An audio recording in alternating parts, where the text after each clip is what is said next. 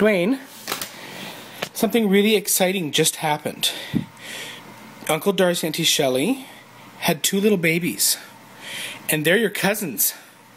What do you think of that? Yeah. Huh? Yeah. Yeah, what? Kissing boys? Well, one's a boy and one's a girl. And they're your cousins. And that hat on? Yeah, that's Uncle Darcy with the hat and the mask. Who's who's Darcy Uncle Darcy holding? Baby. Yeah, baby, what's the baby's name? Zachary. Zachary, yeah. And here, let's switch to the other picture. What's that baby's name? I don't know. Yeah, you do. I just, I just told you. Smokey. no, Sophie. Sophie. Yeah, Sophie. That was close, but not quite. And very soon we're gonna go meet them. You know, you want to go drive to Uncle Darcy to Shelly's and meet them? Yeah. And then what are you gonna do when you see them?